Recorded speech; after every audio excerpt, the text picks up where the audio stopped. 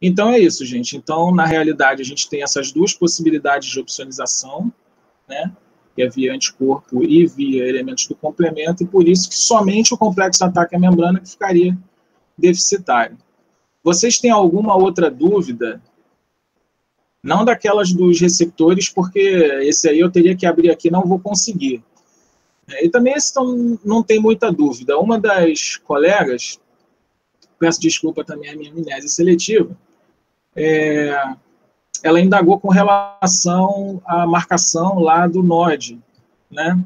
Eu vou ver isso. Também não tive tempo de ver, é, me parece que está certo, mas como eu estava com problema no computador, eu olhei no celular a sua resposta. Então, assim, eu não, não tive tempo. Eu vou abrir o computador para é, fazer essa observação, tá bom? E da mesma maneira que eu falei, como essa questão não estava sendo computada, eu vou, eu vou então fazer essa avaliação manualmente, tá bom? Não se preocupa não que eu vou verificar isso. Vai demorar um pouquinho, né? Vou tentar fazer isso esse final de semana, mas vou fazer.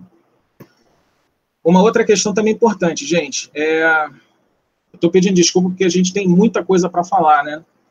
É, alguns alunos também eles entraram em contato comigo e eles estão sentindo muita dificuldade ou alguma dificuldade, enfim, com relação à conexão, né, para fazer a, a nossa apresentação do seminário. Ao que parece, alguns alunos a conexão não é estável o suficiente para ficar um período, digamos, de uma hora e meia, enfim, né? E eles me perguntaram da possibilidade da gente fazer uma uma avaliação que seria vocês gravam em algum determinado momento o grupo, né? Aí não sei como é que vocês vão fazer isso, talvez no, no, no YouTube, mas a gente tem vários programas que a gente consegue gravar, né? É, depois eu posso até passar para vocês. Estou gravando aqui via OBS Studio, é um programa que, que grava a tela, né? E então, a gente, no, no, no nosso dia, no nosso encontro, onde a gente teria a arguição e a apresentação, ficaria só a arguição, ao invés de ter a apresentação do seminário inteiro e a arguição. Né? Isso porque algumas pessoas relataram essa dificuldade. Então, eu queria alguns grupos, dois grupos deles se posicionaram, acho que foi o 4 e o 9, que eles prefeririam fazer nesse formato. Né? Infelizmente, assim, quando a gente faz essa apresentação, principalmente presencialmente, né, isso facilita, porque à medida que a pessoa vai apresentando, a gente a gente consegue até ajudar na apresentação, né? Porque o objetivo é claro, a gente quer que, saber se vocês conseguiram compreender, mas a gente quer também mostrar para vocês como é que é né, a forma de pensar quando a gente constrói um artigo, né, e a forma de apresentar né? Muitos de vocês vão fazer pós-graduação, então, assim, isso já é um, um digamos assim, um preparatório para isso, né? Então, eu queria que vocês pensassem aí, conversassem entre os grupos e depois a gente visse, vocês vissem qual seria a melhor forma. Se seria vocês fazendo a gravação com a apresentação do seminário e a arguição apenas no nosso encontro, tá bom? Professor, uma dúvida. É, se eu quiser apresentar ao vivo, há essa possibilidade? Ou a partir do momento que for decretado que vai ser gravado, todos vão, ter, vão ser gravados? Não, pode apresentar ao vivo, sem problema. Isso que eu estou falando. Eu preciso que vocês me avisem, porque eu, eu e o Herbert, a gente vai ter que assistir, né? Quem mandar previamente para a gente, né? E aí a gente vai ter que fazer as nossas anotações para quando chegar na arguição a gente se lembrar né, do que foi falado, né? Não, não vai ser uma interação ao vivo, então a gente vai ter que se programar de uma maneira diferente. Então, assim, eu peço para todos os grupos, vocês entrarem em contato, enfim, para que vocês se posicionem. Ah, não, a gente vai apresentar nesse formato, a gente vai apresentar no outro, mas vocês, vocês escolhem. Eu vou ser sincero, é, é, eu entendo a dificuldade, é claro, a gente prefere que seja é, é, no, no, momento, que seja presencial, né? Quando a gente estiver apresentando lá no, no nosso dia na quarta-feira. Mas eu entendo também, até conversei com, com o professor Herbert, né? Que alguns alunos realmente a conexão é meio complicada. E eu falei com ele, eu tive problema de conexão acho que uns três, quatro dias, mas problema difícil mesmo, e aí a empresa teve que vir trocar meu modem, porque realmente não, não tinha salvação, a conexão estava super instável, não conseguia entrar na internet direito. Que imagine então fazer um vídeo. É só alguns momentos do dia, durante o dia, que eu realmente conseguia, provavelmente quando o trânsito de pessoas usando a internet estava menor. Mas então, Mariana, você fica livre para escolher o que você achar melhor. Eu só peço que você coloque, por gentileza, lá no nosso muralzinho, que o seu grupo vai preferir, então, apresentar no dia. Tudo certo. Obrigada. Okay? Alguma dúvida, gente, com relação àqueles a esses anúncios aí? Tá tudo certo? Deixa eu ver o chat aqui. Ah, por que não considerei DNA? Ah, então, gente, olha só, é, eu tenho que ver, eu estou vendo aqui a pergunta da Beatriz, por que no tom 9 não considerou DNA? Ah, deixa eu ver se tem mais alguma aqui, rapidinho. É, então, essa questão foi o professor Herbert que fez e eu, eu confesso, eu só peguei o gabarito. Porque como era muita coisa para marcar, eu não cheguei a olhar. Então, assim, com relação a essa questão aí, Beatriz, de dos receptores de padrão molecular e as vias de ativação, eu vou dar uma olhadinha com calma, tá bom? E aí marcar. Teve, teve é, o NOD, que parece que estava faltando dois, dois itens, né? Que eu acho que era citocina e um outro. E agora você está me dizendo do tom 9 do DNA. Então, não se preocupa não que eu vou dar uma olhada. Então, como eu falei, eu vou demorar um pouquinho, tá? Porque eu vou ter que olhar manualmente, é a correção de prova. Tá bom? Mas pode deixar que não vou esquecer. É... Então é isso, gente. Alguma dúvida aí com relação a esses avisos? Tudo ok? Então podemos para o estudo dirigido. Estou tentando olhar o chat aqui, tudo bem? Sim? Ok?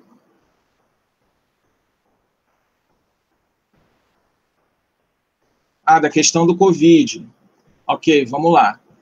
É, eu não estou com a questão aqui. Deixa eu tentar abrir aqui uma janela rapidamente. É, eu vou ter que entrar aqui no,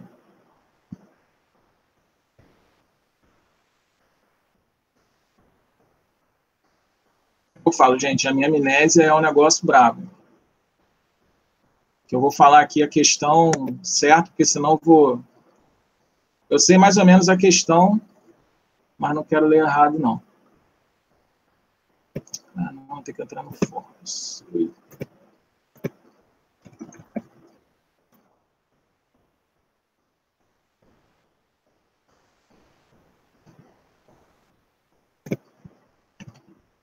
Bom, gente, não vai demorar muito para abrir aqui, então eu vou fazer com que eu me lembre de cabeça.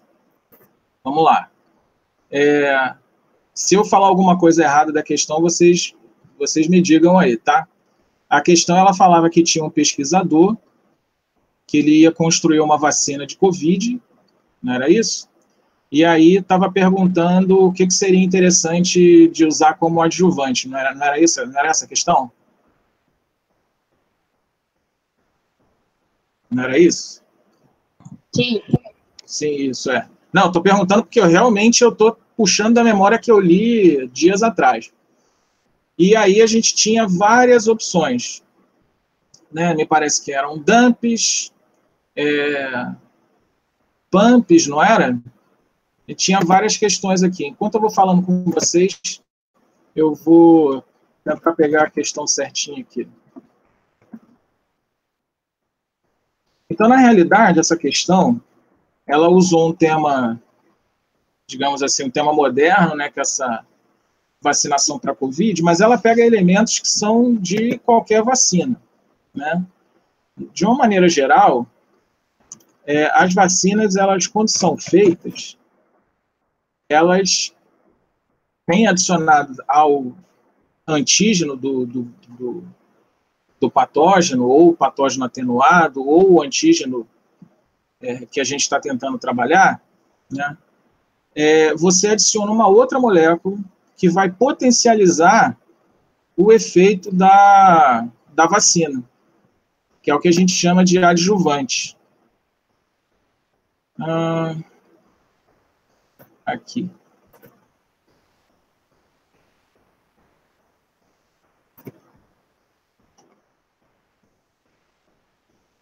Então vamos lá, deixa eu ver a questão aqui para. Aqui. Então, é um cientista vem estudando uma vacina para Covid-19 e ele vem pensando, então, qual seria uma boa estratégia para um desenvolvimento que a vacina funcione. Né? Então, como eu falei, então, na realidade, o que, que essa questão ela trata? Ela trata do uso de alguma molécula que seja um adjuvante, que é uma, é uma substância que vai potencializar a resposta da vacina, né? E como é que é isso? Como é que isso acontece? Você pode adicionar elementos, que depois a gente vai ver quais são aqui, que vão ativar grupos diferentes da imunidade. Então, por exemplo, aqui a gente tem dentre as, as possibilidades de resposta, né? A gente tem usar moléculas próprias para não dar reação no organismo. Usar DAMPs, são aqueles padrões associados a dano tecidual ou a perigo, né? Padrão de perigo, para ativar a produção de citocina. Usar padrão associado a patógeno para ativar a produção de citocina. Aí usar pumps e dumps para amadurecer células dendríticas. Usar pumps que possam ativar diretamente linfócito. Usar moléculas que ajudem a célula dendrítica a fagocitar os antígenos. E a última opção seriam moléculas, né, utilizar moléculas que aumentem a produção de células do sistema imune. O que é aumentar a produção de células? É ou aumentar a proliferação né, na periferia ou a produção na medula óssea. Então, vamos lá. O, o adjuvante, qual é a... Ah, Beatriz, você quer saber por que, que a última questão não pode ser correta? Que é a moléculas que aumentem a produção de células do sistema imune. É isso? Dá, um, dá uma sinalizada aí. Isso, então vamos lá. Então, na realidade, a pergunta, como eu falei, a pergunta é sobre os adjuvantes. Então, o que, que é importante para a gente construir uma vacina? A gente tem que ter uma vacina, além dela ser segura, né, que é o pessoal da Anvisa está vendo aí, né, nessa questão da Coronavac e da vacina de Oxford, primeiro tem que ver a segurança. Segundo, tem que ver a eficiência. E o que, que a vacina faz? A vacina ela vai induzir né, células da imunidade. Então, para uma vacina ser considerada eficiente, ela tem que gerar uma resposta, né, ativando grupos celulares, principalmente ativando produção de imunoglobulina, né, mas não exclusivamente. A melhor vacina é quando você tem produção de imunoglobulina e ativação da imunidade celular também. Por exemplo, ativação de células T, dentre outras, tá? Então, essa seria a, a formulação mais vantajosa. Quanto mais elementos a gente puder ativar da imunidade, melhor. Então, é, por exemplo, moléculas que vão aumentar a produção de células do sistema imune, o que isso quer dizer? Isso quer dizer que são moléculas que vão estimular a ativação e a proliferação de células do sistema imune. Até na outra vez que a gente, quer dizer que aí já eu, eu nem estava aqui na turma ainda, né? Quando o professor Herbert conversou com vocês, né? Quando a célula T se ativa, célula T e a célula B também, né? Mas usar a célula T como exemplo, qual é uma das características principais dessa célula? Ela sofre uma grande expansão clonal, a célula B também né? Então, assim, esse aumento, essa proliferação é benéfica para a gente. Inclusive, quando a gente está num... É, quando a gente sofre, né, algum caso está com infecção, o que, que eu, a gente vai fazer? Primeiramente, a gente vai no médico, o cara pede lá um hemograma. E o que, que ele vai avaliar? Ele vai avaliar como é que está... Espera que eu vou permitir a entrada de mais alguém ele vai, ele vai verificar como é que está a tua contagem de células do sangue, de leucócitos. Né? Então, ele vai avaliar, principalmente, né, neutrófilos, né? a gente está com infecção bacteriana, os granulócitos aumentam, e quando a gente está com uma infecção viral, quem que aumenta? Os linfócitos. Então, quando você tem algum elemento, né, seja um, um patógeno atenuado, ou um pedaço dele, um antígeno desse patógeno, que vai induzir expansão clonal, isso para a gente é benéfico. Para uma formulação de vacina, é, é bom. Então, por isso que essa, essa, essa pode ser. Mas ela não tá, ela tá no gabarito, não tá? Não está? Ué. Então vou dar uma olhada também. Porque pelo que eu tinha visto, só uma estava errada na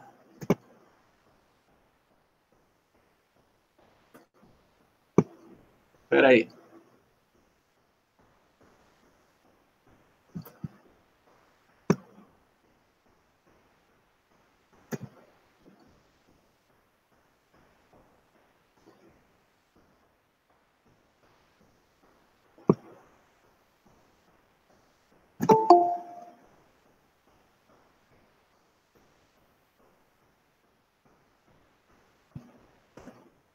Hum.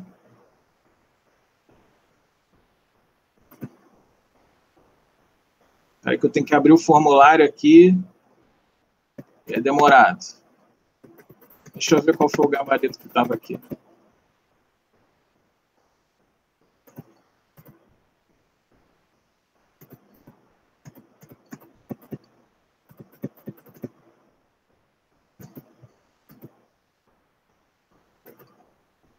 O computador também está lento, não está favorecendo.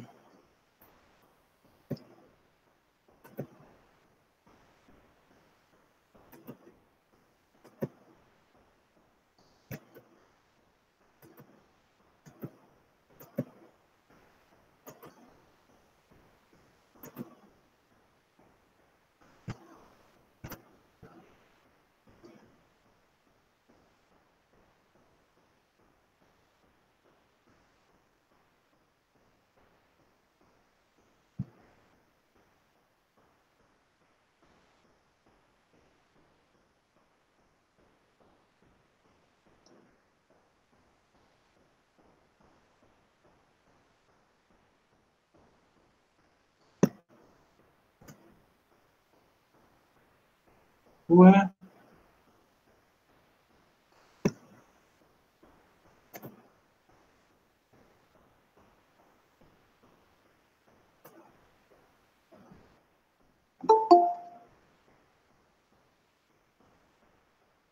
Ah, agora consegui ver aqui.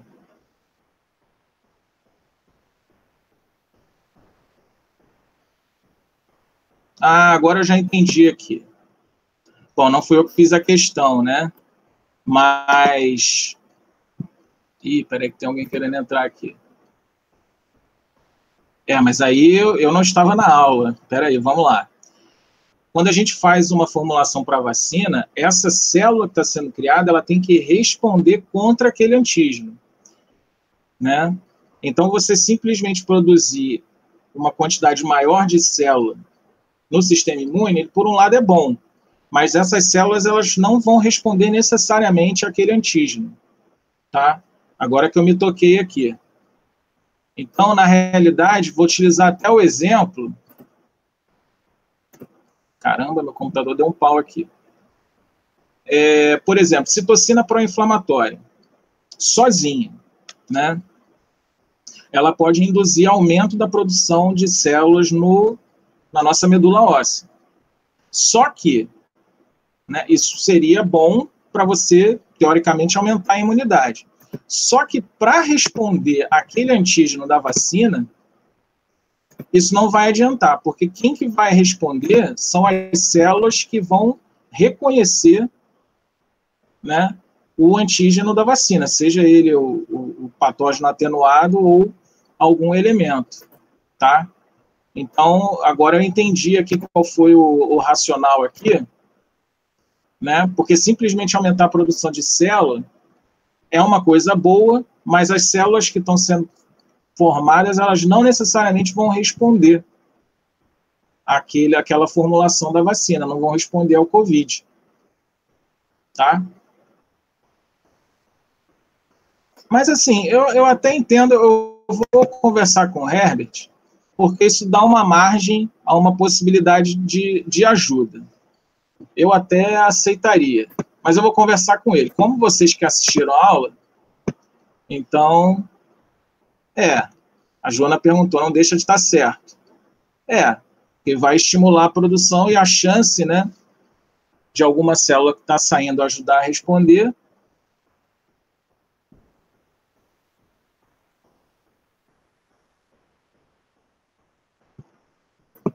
É, a, o simples output da medula, ele não necessariamente ele não necessariamente vai fazer com que essas células respondam, mas, por exemplo, aumentar a produção de célula via expansão clonal, que foi até o que eu tinha imaginado, é uma possibilidade. Né? Então, você tem o linfócito que se ativa, sofre expansão clonal. Né? Está sofrendo expansão clonal. É, né? Então, essa talvez até poderia sim também. Então, vou deixar aqui também no, anotado aqui também que é que às vezes vocês têm que entender que quando a gente formula a questão, às vezes a gente não pensa necessariamente no desdobramento, né? Então esse tipo de coisa acontece. Eu já tive que refazer algumas questões também porque dava margem para para possibilidade de resposta múltipla, né? Então vou falar com ele para a gente aceitar também, ok? Então, beleza. Depois eu vou, eu estou gravando isso aqui, depois eu vou, vou anotar isso com carinho. Então, a gente pode ir para o nosso ED, gente, propriamente dito? Podemos? Explica a questão que relaciona o sistema imune é, inato. Espera aí.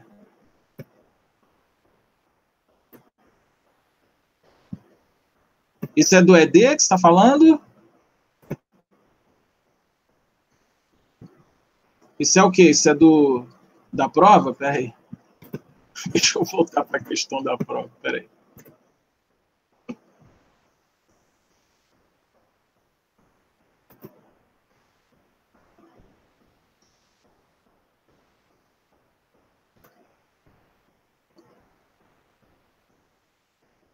É a primeira, gente? A imunidade inata é extremamente específica? É essa que vocês estão com dúvida? Não?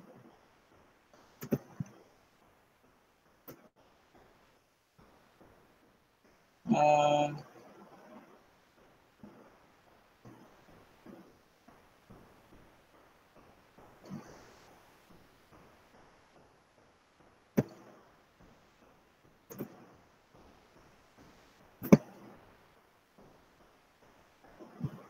Ah, tá. Pera aí que eu vou procurar aqui. Segunda questão depois dos quadradinhos.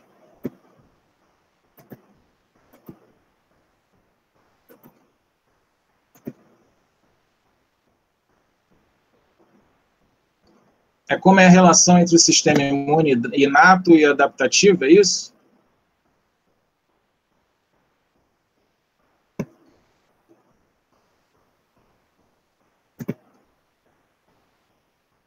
Então, qual foi. Eu queria saber qual é a dúvida exata de vocês. O que, que vocês não entenderam?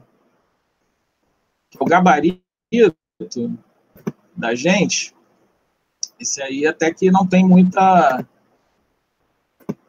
digamos assim, muita possibilidade para outra interpretação, né? Seria que seria que o inato participa da ativação do adaptativo e o adaptativo, por sua vez, potencializa a imunidade inata, ou potencializa ou regula.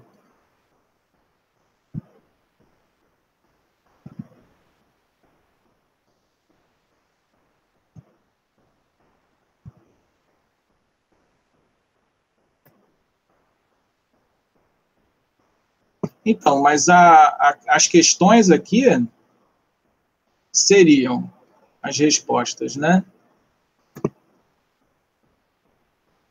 O inato só funciona com a ajuda do adaptativo. É uma das opções. Aí não tem nenhuma relação, eles são completamente independentes, é a outra opção. A outra opção seria o inato não depende do adaptativo, mas o adaptativo depende por causa da apresentação. E a que seria o gabarito, digamos assim, é que o inato participa da ativação do adaptativo e, por sua vez, o adaptativo é capaz de modular a resposta inata.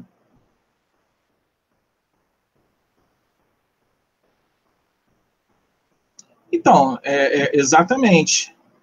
Ah, ah, a Beatriz falou aqui que na minha cabeça o adaptativo não potencializa o inato. Não, muito pelo contrário. Então vamos lá. É... Poxa, até tinha na apresentação aqui. Essa coisa do inato que a gente já nasce com ele, não, o gabarito não está errado, não. Pelo menos não na minha visão. Vamos lá. Olha só.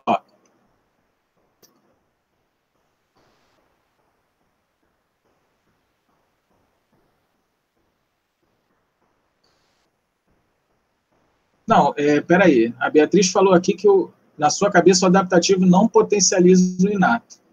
Na realidade, aqui na, no gabarito, ele pode potencializar ou regular. O que, que o sistema imune é, é, adaptativo ele pode fazer para ajudar a imunidade inata? Então, vamos lá. Quando a gente tem ativação da imunidade adaptativa, quem que é ativado? Quem que dá o início à imunidade adaptativa? É isso aí. Ah, já responderam para mim. Olha só. É Nick o seu nome? Nick, como é que fala o seu nome? Ué, Nicole? Ah, esse é apelido? Nicole, então, vamos lá. É, a Nicole já matou a charada aqui. Desculpa, Nicole, foi mal. Então, olha só. É, quando a gente tem ativação de célula T, deixa eu ver se eu consigo jogar uma apresentação aqui.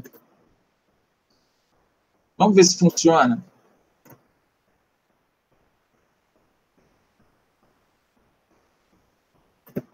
Peraí, gente.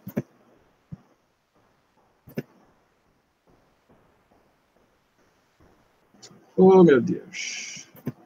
Acabei de abrir o PowerPoint, espera aí. Agora vai.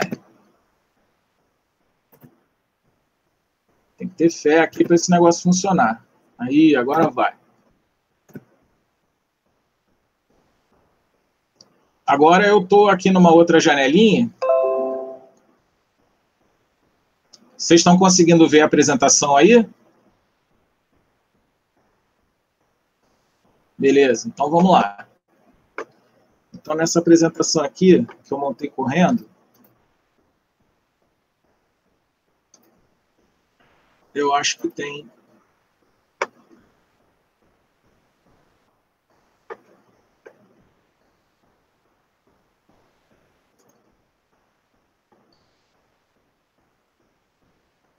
Então, gente, olha só. A imunidade inata e adaptativa, elas se diferem, obviamente, pelos grupos né, celulares que são é, ativados, né? E a imunidade adaptativa, ela começa na ativação de célula B e na ativação de célula T. As células T efetoras, né, as células T, quando elas são ativadas, elas vão poder se ativar em grupos que são diferentes.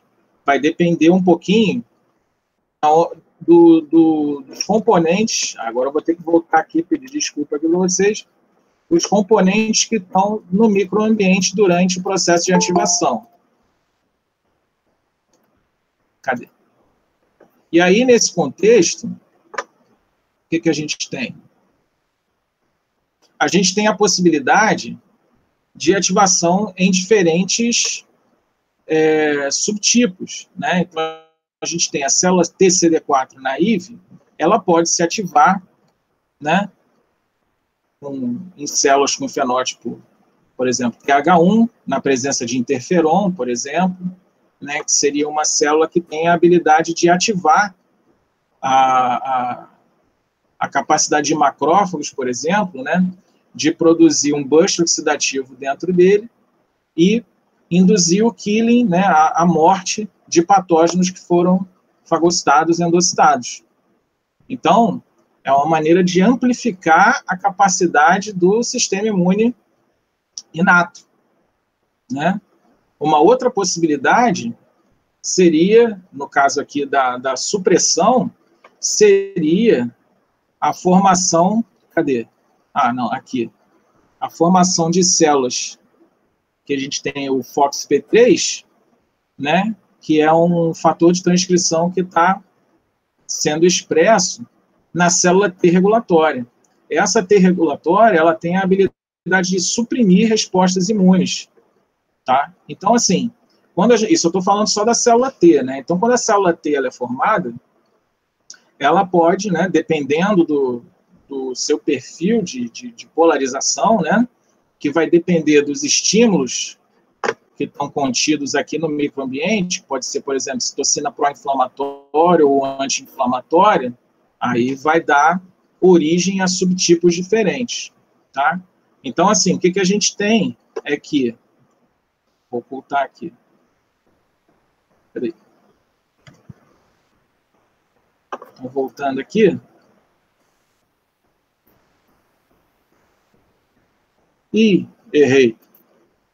Peraí, voltar lá. Não, mas a questão, Beatriz, ainda bem que eu voltei, porque você perguntou se o inato não depende do adaptativo para ser ativado. Mas a questão, ela não fala que depende da ativação, mas o adaptativo, ele modula a função do inato, tanto para mais quanto para menos, né? Quando você tem uma célula TH1 sendo ativada, essa célula TH1 ela tem a habilidade de amplificar a resposta. E na nossa questão ali, ele não fala que a imunidade inata precisa né, é, é da, da, do adaptativo. Ela acontece, mas ela pode ser potencializada. A questão é potencializar ou suprimir, ou regular para baixo. Tá? Então é isso, o inato, ele é ativado independente da, da ação do adaptativo, isso é verdade. Mas o adaptativo regula. E o adaptativo, por sua vez, ele depende da ativação do, do inato. Né? Como a gente viu ali, a gente vai ter é, é, a apresentação de antígeno né, que vai fazer essa ponte entre a imunidade inata e adaptativa. Ok, gente? Foi, ficou claro? porque a segunda não pode ser considerada? Porque na segunda questão ele fala que o inato não depende do adaptativo. O inato ele, ele usa o adaptativo. Não, mas o é, assim, ele pode ser ativado na ausência do adaptativo, mas na vida real, né, falando sinceramente mesmo, é muito difícil a gente se ver livre de uma infecção sem a ação do sistema imune adaptativo. Ah, é possível ter vida, mas ele normalmente é ativado. Na vida normal, normalmente, assim, quando a gente entra em contato com o antígeno, ele sempre é ativado. Então, Nayara, vamos lá. é, gente, é porque assim, é, é, questão curtinha, né? Questão curtinha dá, às vezes dá esses esses problemas assim, mas uh, mas na realidade, até na minha concepção assim, o, o gabarito seria esse mesmo. Talvez o não depende, né? Enfim, é, é, pudesse colocar uma. Mas assim, tá, tá certo. Não, mas espera aí, vocês.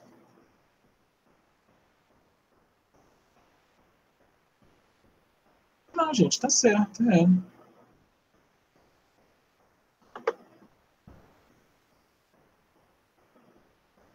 É, eu vi que algumas pessoas aqui colocaram esse inato não depende do adaptativo. Provavelmente o pessoal entendeu errado, né? é, Beatriz. Assim, é, depende um pouco da semântica, né? Mas é, na vida real ele acaba dependendo sim. Só o, esse, o eixo do, do adaptativo ele só não é ativado quando você tem uma concentração muito baixa de antígeno, que aí o próprio, digamos assim, o próprio eixo da imunidade inata consegue resolver. Mas de uma maneira geral, quando a gente tem um processo infeccioso, né, é, a gente sempre acaba dependendo da ação do adaptativo, regulando, inclusive, é, é, funções de complemento, né, e até é, funções celulares mesmo, como eu falei do, do macrófago, né, porque, desculpa, capacidade de killing do macrófago é potencializada a partir da ativação, por exemplo, da célula T. Então, sem isso, o macrófago ele fagocita, mas ele não tem aquele burst oxidativo para eliminar a célula que foi fagocitada. Então, por isso que acaba havendo essa certa dependência. Professor, é, desculpa. Nada. É assim, o senhor está considerando em uma questão que é possível haver vida sem o sistema adaptativo. Só que nessa outra questão, o senhor está considerando a vida real. É isso que eu não estou entendendo, porque já que é possível haver, haver vida sem o sistema adaptativo, então o sistema adaptativo, o inato, não depende do, do adaptativo. Bom, gente, mas olha só, o que, que você considera como vida? está considerando eu e você, nossos colegas aqui, ou você está considerando uma, uma planta, uma bactéria? Eu não sei o que o senhor quis, quis dizer com considerar vida na questão.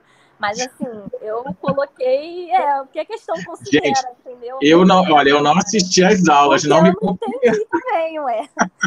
Eu fui baseada em vida em geral.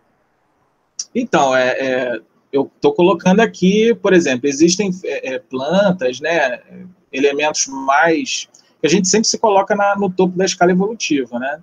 Embora eu não não considere muito bem isso, mas enfim. É, mas tem plantas que elas utilizam basicamente o que a gente tem de imunidade inata para sobreviver, e sobreviver muito bem. Mas o nosso sistema, né, nos mamíferos, né, o nosso sistema imunológico ele é muito mais refinado. E ele foi desenvolvido né, é, para formar um repertório muito maior.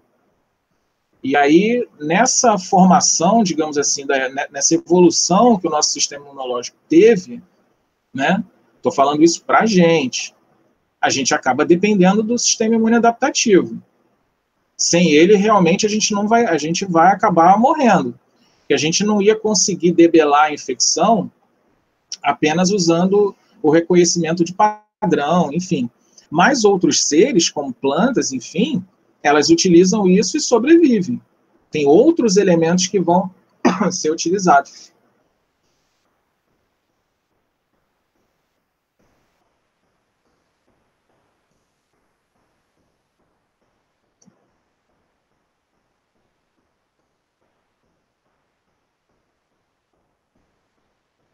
Não, então, o, o Nicole, é, eventualmente, você, ao longo da sua vida, você pode ter um pequeno cortezinho no dedo, enfim, não, não chegou a gerar uma infecção, digamos assim, de grande monta, e aí o teu sistema imune inato, ele conseguiu resolver aquele problema.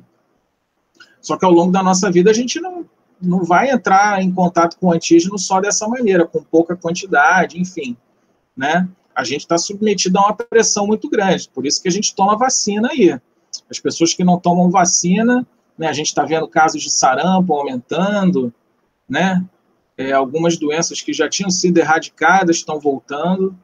Então, assim, na realidade, a gente vê que há essa dependência, no nosso caso, né, de mamífero, né, da ativação do eixo adaptativo.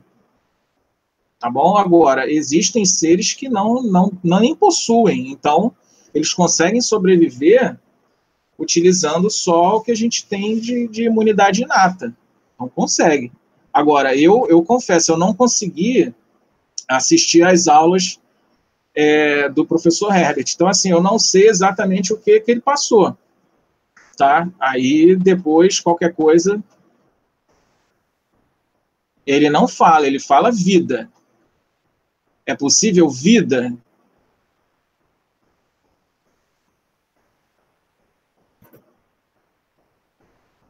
Gente, eu vou, vou pedir para ele dar uma olhada então.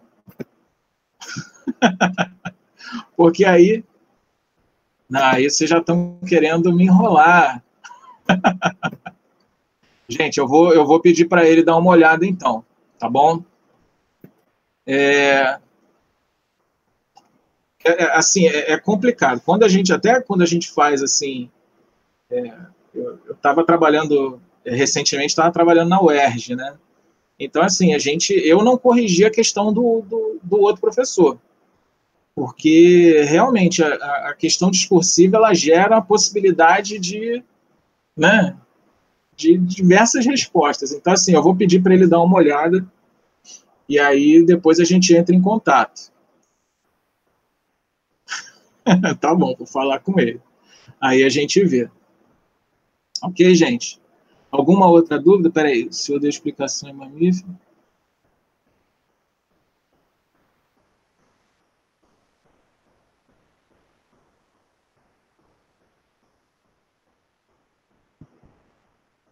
Ah, você está falando da questão anterior, né? Pô, gente, mas aí é que eu tô. Ah, nessa mesmo? Ah, que o inato participa da ativação do adaptativo Não, gente, mas aí, é, pois é, enfim. É, não, não, eu não vou entrar mais em questão porque é muito complicado, porque vocês assistiram a aula, eu não assisti. Então, assim, depende muito do que ele falou. Mas eu imagino que nessa questão, até no, no, jeito de pensar, é, é em mamífero, é na gente. Não, não é em planta, não. Tá? Não é em planta, não é em outros seres, não. Deixa eu ver essa outra aqui. Essa que vocês estão perguntando, qual é o número dela? A outra é 11. Não, memória imunológica. A P6, não.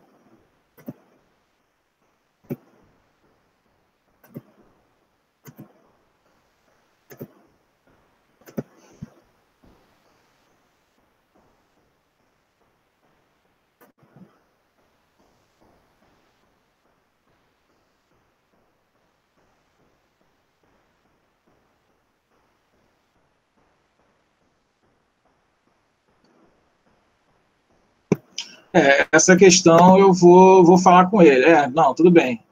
É, vou perguntar para ele e aí a gente entra em a gente entra em contato. Essas questões muito conceituais, elas são um calo no pé do professor. E a gente, a gente quando bola a questão, a gente tem uma coisa na cabeça muito bem determinada. Aí vem vocês e, mas e, né? Traz outras outros elementos que às vezes a gente não pensa. Vou conversar com ele porque foi ele que deu a aula, né?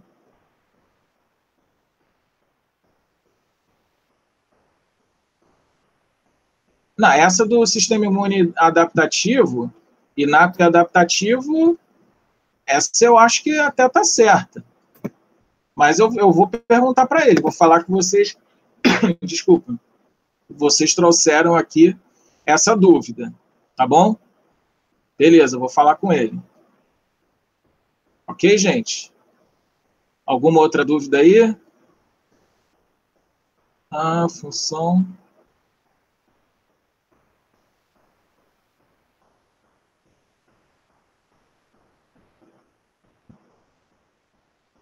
Peraí, que componente positivo e negativo é esse que você está falando? Na diferença, na polarização de célula T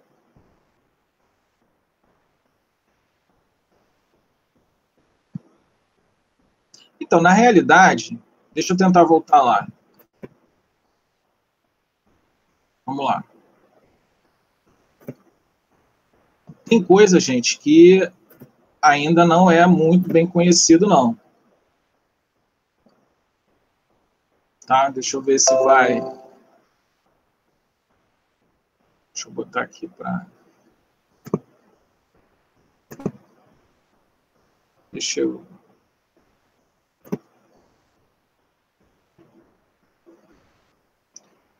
Então, deixa eu ver se.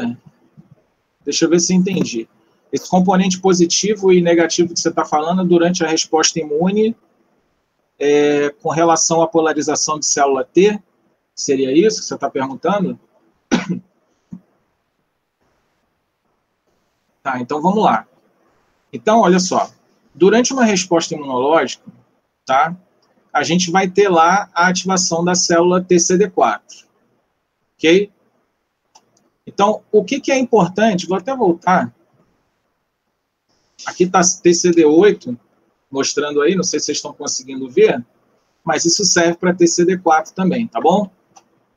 O que, que é importante para é, induzir a ativação da célula T durante a apresentação?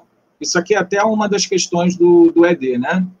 A gente tem, então, o primeiro sinal, né, que seria a ligação do MHC mais o antígeno, que está aqui na fenda do MHC, ligando ao TCR, e a gente tem elementos que são coestimulatórios, tá bom? Que seriam aquelas moléculas B7, 1 e 2, que agora a nomenclatura é CD80 e CD86, da célula apresentadora, no caso da dendrítica, se ligando a CD28, que está na superfície da célula T. Então, esses dois sinais são sinais importantes, né? Esse, essa coestimulação é importante para que haja a, a ativação, então, dessa célula T. Existe um terceiro sinal, né, que ele é capaz de amplificar e modificar o perfil da célula T, tá? Que seria as citocinas que estão sendo secretadas aqui pela célula dendrítica, mas não só pela célula dendrítica, gente. Também por outras células, né, que estão presentes ali naquele microambiente. Imagina que essas duas células aqui, elas estão dentro de um linfonodo, tá? Então ali no linfonodo existem outros, né, outros tipos celulares. Em menor grau, a gente tem muita célula T, muita célula B, né, em compartimentos um pouquinho separados, um pouquinho isolados, mas a gente tem macrófagos também, células dendríticas que vão chegar. Então, é, esse conjunto de, de, de elementos solúveis aqui, ele vai interferir nessa ativação da célula T. De que maneira que faz isso? Então, a célula T, ela se ativa, mas ela é capaz de, a partir desses estímulos diferentes aqui, então, por exemplo, no momento que a gente está com uma inflamação, né, você está tendo muita ativação de macrófago, a gente vai ter muito TNF sendo liberado, muito interferon. O interferon é uma molécula que induz né, a polarização daquela célula TCD4 em célula T-helper do tipo 1, TH1. Tá? Então, essa polarização TH1, né, que na realidade é uma, a gente fala, não é um linfócito TH1, né, é uma polarização. Desculpa. E essa polarização TH1, né, você tem o linfócito, então, resultante a partir dessa, dessa ativação da célula dendrítica, que é capaz de produzir grandes quantidades do próprio interferon e de TNF. Né? E essas duas, essas duas citocinas, elas são capazes de retroalimentar né, é, o sistema imune, no caso inato, amplificando a resposta do macrófago, por exemplo, do neutrófilo também, fazendo com que aumente aquela capacidade oxidativa e eliminando os patógenos que foram é, incorporados, né, fagocitose ou algum, algum outro tipo de endocitose. Agora, num, num, num microambiente onde você está tendo muita produção de TGF-beta, por exemplo, tá? Isso às vezes pode acontecer até quando você tem uma resposta muito grande, é, no caso de imunidade de mucosa, né, você tem algumas células que são capazes de secretar essas citocinas no, é, IL-10 ou TGF-beta, né, que vão modular esse processo de diferenciação, e apontei com o dedo, vão modular esse processo de diferenciação aqui da célula TCD4, levando a uma célula T regulatória isso na periferia, tá bom, gente? Porque tem uma diferença grande, a gente tem informação de célula T regulatória no timo, acho que o professor Herbert deve ter falado isso, né? É uma possibilidade de diferenciação ainda no timo, mas esse, nesse caso aqui, a gente tem a possibilidade da geração, né, da polarização de célula T regulatória na periferia também. E essa geração acontece quando você tem essa ativação da, da célula TCD4 na presença principalmente do TGF-beta e, obviamente, do IL-2. Tá? Mas o TGF-beta é que vai nortear, né, que vai direcionar essa ativação, tá bom? E aí, a... foi perguntado com relação ao FOXP3, o FOXP3 é um fator de transcrição que ainda não, não tem uma função ainda muito bem definida do porquê que o, que o FOXP3 faz com que a, a, essa célula Treg tenha essa característica de supressão de respostas imunes, tá? Mas o que a gente sabe é que fenotipicamente, né, essa célula T regulatória, ela tem, ela tem muito CD25 e tem FOXP3 também. Tá bom? Então, assim, embora a gente não entenda muito bem como que o FOXP3 age para fazer, né, se é que ele sozinho faz com que essa célula tenha esse fenótipo, né, mas o que a gente identifica é que toda Treg, no caso, ela tem esse FOXP3 aí. Ok? Deixa eu interromper aqui. Foi? Deixa eu voltar aqui. Hum. Respondi, Nicole? Tudo bem? Beleza, show de bola. Essa, essa questão é meio complicada mesmo, porque a gente sempre pensa, né, a gente tem a célula T e a célula T é aquela célula. Não, na realidade, é, vai depender muito do microambiente. O microambiente determina como que a célula T se polariza, né? Inclusive, tem até uma questão aqui do nosso ED, que vou aproveitar esse gancho, vou perguntar para vocês aí, nesse, é, nesse escopo aqui que a gente está conversando, o que, que seria, então, a plasticidade no sistema imunológico? A partir desse exemplo que eu acabei de citar. Alguém tem alguma ideia aí?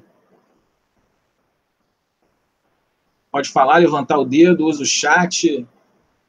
Essa capacidade de polarização entre as células tanto a TCD8 ou a CD4, você tem esses diferentes fenótipos que podem ajudar ou ativar, quer dizer, ser mais é, efetora ou mais regulatória, nesse sentido? Exatamente isso, Mariana. Então, a plasticidade é a capacidade. A gente tem uma única célula, que é a célula T. Vou falar da TCD4 para usar como exemplo, mas a gente tem esse tipo de plasticidade também em outras células. Até o macrófago ele é capaz de se polarizar em diferentes fenótipos, né? Não sei se o professor Herbert chegou a mencionar isso também é, em alguma das aulas, né? Então, a gente tem uma célula, que é a TCD4, que dependendo da condição do microambiente, ela tem um comportamento, né, funcional diferente, particular. Então, você pode ativar essa célula para induzir uma resposta pró-inflamatória. Você pode ativar essa célula, dependendo do microambiente, para uma resposta que vai ser de produção de imunoglobulina, por exemplo, IgE, que seria a, a, a polarização TH2. A gente pode induzir essa célula para uma resposta de supressão de resposta é, é, é, inflamatória, né, no caso da Treg. Enfim, você a partir de uma única célula, ela tem possibilidades de dar origem, né, a diferentes polarizações. Então essa, isso é a plasticidade. A gente não tem grupos de células diferentes, seria célula T1, T2, T3, não. Você tem uma TCD4 que pode dar origem, né, a essas múltiplas funções. Então essa é a plasticidade. E outros outras células também são capazes de fazer isso. Né? O macrófago, você também tem polarização para um macrófago pró-inflamatório, e a gente tem também polarização para um macrófago anti-inflamatório, que vai permitir é, regeneração tecidual. Então, isso não é uma, uma característica única né, é, de célula T. Célula B também apresenta isso. E macrófago também. Então, é isso. Plasticidade seria isso mesmo. Ok? Alguma outra dúvida com relação à prova, gente?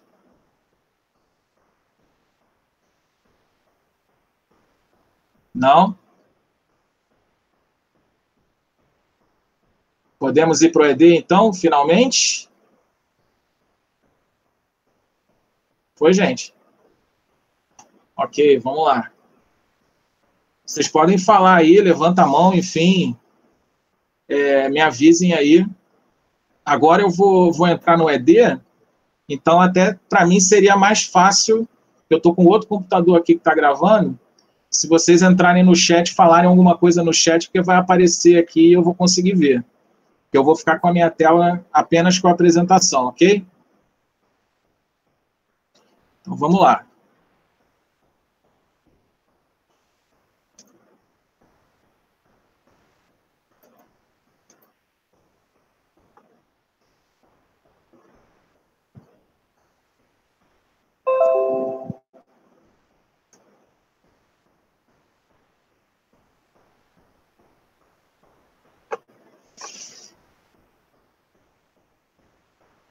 Gente, olha só, é, na realidade, a gente tem essas questões do ED que já foram mencionadas pelo professor Herbert. Se vocês quiserem que eu passe alguma, né, eu até posso falar todas aqui, não tem problema nenhum. Se quiserem, eu falo todas. Se não, eu pego apenas as que vocês ficaram com alguma dúvida. O que, que vocês acham? Por mim, pode ir na, na aí, professor. Não vai ter problema. Pode ir em todas, então? Ok? Por mim, tudo bem. Beleza, então. Então, vamos lá. Então, a primeira questão é sobre o que, que é a recombinação e como que está envolvido na diversidade de receptores de TCR e BCR. Alguém lembra dessa questão aí? Alguém quer mencionar alguma coisa?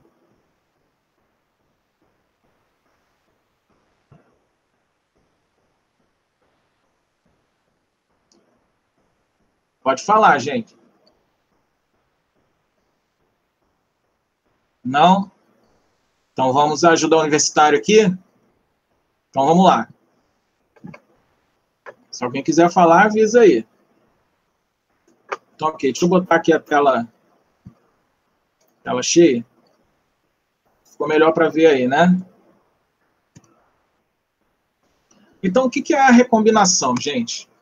É, a recombinação, na realidade, é um processo que aumenta a variabilidade dos receptores, né, do receptor de célula T e o receptor de célula B. Né? Se a gente fosse imaginar, né, é, como que a gente consegue responder a todos, né, enfim, a gente não consegue todos, mas vamos, vamos colocar de maneira geral, como é que a gente consegue responder a todos os elementos que estão presentes na natureza? A gente imagina que são muitos elementos, né? Então, se a gente fosse partir daquele dogma, né, da biologia, se a gente tem uma molécula de DNA, quer dizer, um gene, ele vai dar origem a um RNA e uma proteína. Seria o dogma inicial, né? A gente conseguiria responder a todos os elementos que estão presentes na natureza? O que, que vocês acham? Sim, não, talvez.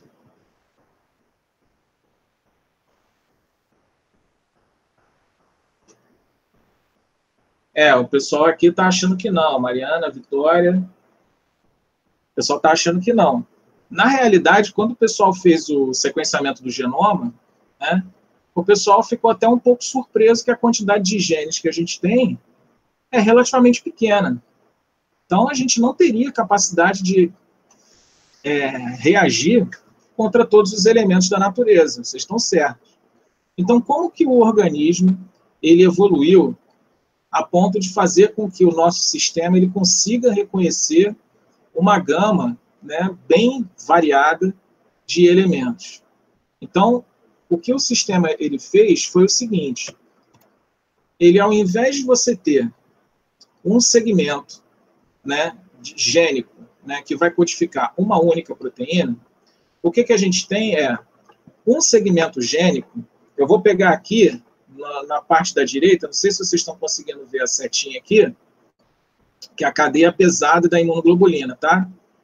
E a cadeia pesada da imunoglobulina é muito parecida com a cadeia com rearranjo que a gente tem na cadeia da, do receptor de célula T, tá bom? Então, a cadeia pesada, o que, que a gente tem? Você tem um grande segmento gênico, tá? Um grande é, é, pedaço, digamos assim, de DNA, composto de vários fragmentos. No caso aqui, né, a gente tem o C, aí tem o, o, o que é esse C aqui, ele não vai, é o constante. Mas a gente tem os fragmentos, perdão, V, D e J, e esses fragmentos VDJ, eles vão se rearranjar. Você tem diversos fragmentos, né? por exemplo, V tem algumas dezenas, né? eles vão se rearranjar de maneira randômica e aleatória, tá? através de um processo de análise combinatória. E através desse processo, desse rearranjo aleatório, você vai juntar pequenos segmentos desse grande gene que compõe a imunoglobulina para formar essa parte aqui, o VDJ, não sei se vocês estão conseguindo ver, eles vão compor a parte variável da cadeia da imunoglobulina. Então, quando você pega diferentes pedacinhos, diferentes segmentos, né, VDJ, ele forma uma estrutura né, de imunoglobulina com uma especificidade única. Então, a partir desse, desse rearranjo de maneira aleatória, você forma estruturas muito diferentes em quantidade. Né? Você é capaz de, a partir de um único segmento gênico, você consegue formar uma variedade enorme de possibilidades de receptores. Tá bom? E aí, no caso da imunoglobulina, a gente tem esse rearranjo aqui, que vai na cadeia pesada e o mesmo acontece aqui na cadeia leve. A diferença é que na cadeia pesada a gente tem um rearranjo dos segmentos VDJ e na cadeia leve apenas o V e o J. O segmento de diversidade ele não existe. Ok? E adicionando ainda mais complexidade, né, quer dizer, variabilidade a esse, esse sistema né, do, do, da formação do TCR e do BCR, esse é um processo de escolha dos segmentos. Só que quando você escolhe os segmentos, eles estão presentes numa região muito grande né, de DNA. Quando esse material ele é removido daquele grande segmento, o que, que acontece? Você vai ficar com um pedacinho de DNA solto, né? E esse pedacinho de DNA, ele forma essa estrutura aqui, quando ele é clivado, deixa eu ver se o mouse está aqui, não sei se vocês estão vendo, essa estrutura em hairpin aqui ele liga as duas cadeias do DNA. Elas não ficam soltas. É, ela é fechada, né, a partir dessa clivagem aqui. E quando isso é feito, a gente tem uma outra proteína, que é a Artemis ou Artemis, né, que vai clivar, então, esse hairpin aqui e vai permitir uma outra enzima, que é essa TDT aqui, a adicionar outros nucleotídeos entre um segmento e o outro de maneira aleatória, tá? E essa adição, né, que é a diversidade juncional, é uma é uma um elemento que vai potencializar a capacidade de geração de diferentes receptores. Então, por exemplo, se eu tiver é, uma formação, né, com o, deixa eu voltar aqui. Por exemplo, eu pego o V1, D2 e J3 né? E aí, um outro clone de célula B, ele pega os mesmos elementos, V1, D2 e J3. Só que eles dificilmente eles vão ter a mesma especificidade. Por quê? Porque quando chegar nesse momento aqui de ligação dos segmentos V, D e J, a gente vai ter a adição, cadê o mousezinho? Aqui. A gente vai ter a adição de nucleotídeos randômicos entre um segmento e outro. Isso vai fazer com que cada um né, desses receptores ele tenha praticamente uma especificidade única. gerando então essa grande variação, né, variabilidade entre os receptores de célula T e os receptores de célula B. Ok, gente? Foi? Alguma dúvida? Se tiver, vamos lá, vamos aproveitar. Posso passar, gente? Ok? Estou aguardando aí o feedback de vocês. Beleza, vamos ter que fazer assim, para eu saber se está tudo ok. Ok, então. Seguindo. Então, a gente aqui, a gente vai falar de, na verdade, são quatro questões que vou tentar agrupar essas quatro em uma única explicação. Né? E seria qual a importância do timo, a função do gene AIRE, o que, que é a seleção positiva e o que, que é a seleção negativa. Eu lembro que na outra apresentação do professor Herbert, isso gerou um pouquinho de confusão de seleção positiva e negativa, que é normal. Então vamos lá, alguém quer se aventurar aí com a importância do timo?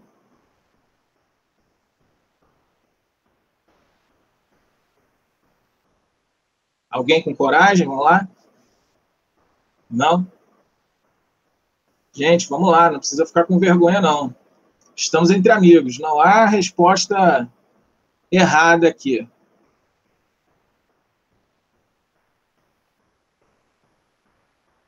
Espera aí que passou alguma coisa aqui que eu não vi. Deixa eu voltar lá.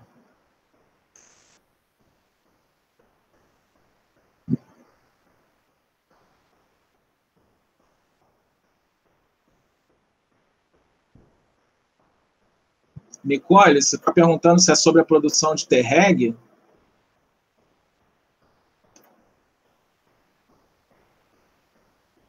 Alô, Nicole?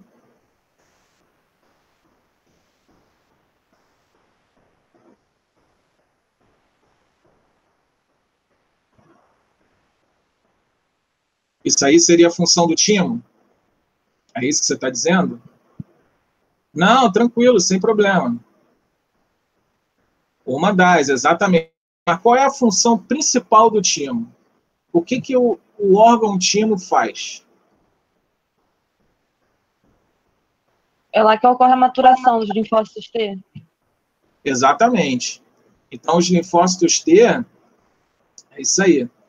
É, eles vão começar o processo de diferenciação na medula óssea, só que eles vão sair ainda vão sair da medula num processo ainda, quer dizer, num estágio ainda não completamente desenvolvido. E aí vai ser a partir da entrada no timo é que eles vão finalizar esse processo de maturação. E aí é um processo que é bem particular, né? E que, na realidade, é o que determina, é, basicamente, né? É, a, a, nossa habilidade de enxergar o mundo do ponto de vista imunológico. Quem faz isso na realidade, né, quem, quem propicia isso, é essa maturação da célula T. E aí a gente vai ver um pouquinho, espero, né, que a gente consiga ver isso agora. É, eu até brinco assim quando a gente começa a aula, né, que antigamente o pessoal, mas isso era até por causa dos vídeos, né, as pessoas têm uma visão, digamos assim, do sistema imunológico uma coisa muito bélica, né? Então, o sistema imune, ele é para atacar. O sistema imune, ele é para destruir. Né? Não sei se vocês ainda têm essa visão. O que, que vocês acham? Ainda...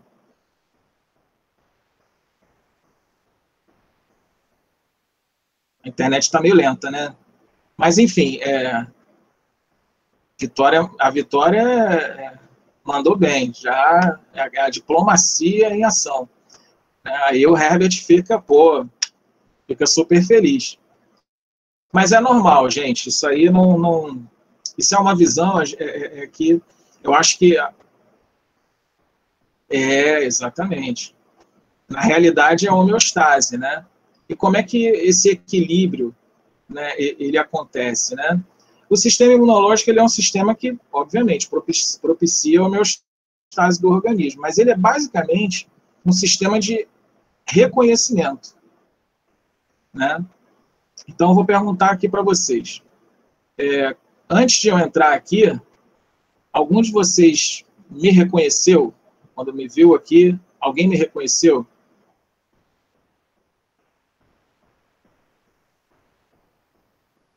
Aí levanta a mão, sim, não. Alguém me reconheceu aqui?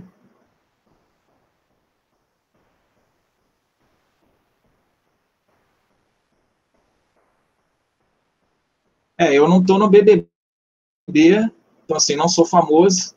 Então, assim, de uma maneira geral, já imaginava essa resposta. Eu também não reconheci nenhum de vocês. O que, que eu preciso para reconhecer? O que, que é reconhecer? Reconhecer é conhecer de novo. Então, para eu reconhecer, eu tenho que ver, tenho que ter reconhecido antes. Então, o sistema imune, ele é um sistema de reconhecimento. E quem que vai propiciar esse reconhecimento é a célula T. Então, agora eu vou voltar para a apresentação para explicar como que isso acontece. O professor Herbert ele já falou na, na outra apresentação lá, né? É só para reforçar. Ok, gente? Vou voltar, então, para a apresentação. Eu estava olhando aqui vocês no chat. Então, vamos lá. Então, a importância do a gente já, já falou. É... Então, como é que acontece essa seleção de linfócitos T? Né? Durante o processo de maturação, é que eu acho que o professor Herbert já falou com vocês, a célula T ela vai migrando do córtex em direção à medula do timo, tá bom?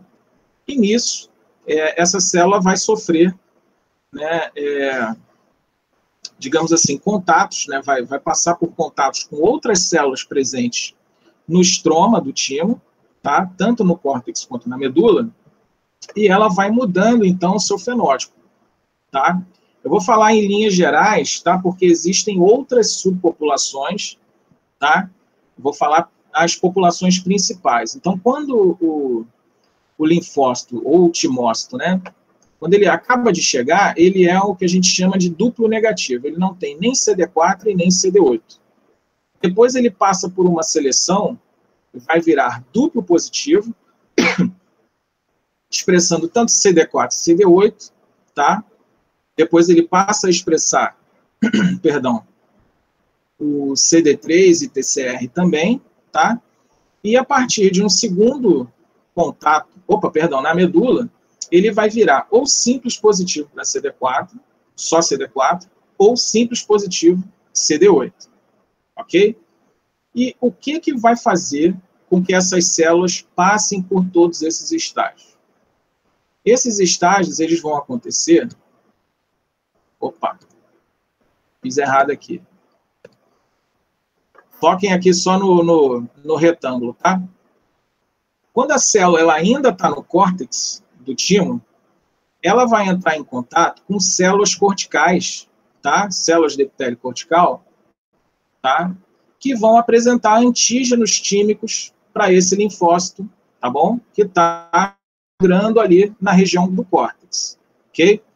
E aí, o que, que acontece? Quando você tem o reconhecimento de um antígeno tímico via MHC de classe 2, essa célula, esse linfócito, ele vai ficar comprometido né, a gerar uma, um linfócito TCD4. Se, por sua vez, ele reconhecer nesse momento aqui, perdão, um antígeno via MHC de classe 1, ele vai ficar comprometido a gerar, e essa, o mouse não quer, não quer aparecer aqui, ele vai ficar comprometido a gerar uma célula TCD8. Ok? Agora, o que, que acontece? Essa célula cortical, que já está com um grau de comprometimento, ela vai migrar para a medula, tá bom? Na medula, ela vai encontrar um tipo particular de células, né? Que são as células do epitélio medular, tá? São células corticais medulares.